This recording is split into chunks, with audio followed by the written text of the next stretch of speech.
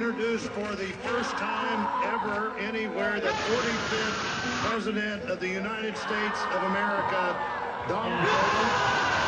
You adjust the microphone as a tall man. Hands on the lectern. And it's just started to rain.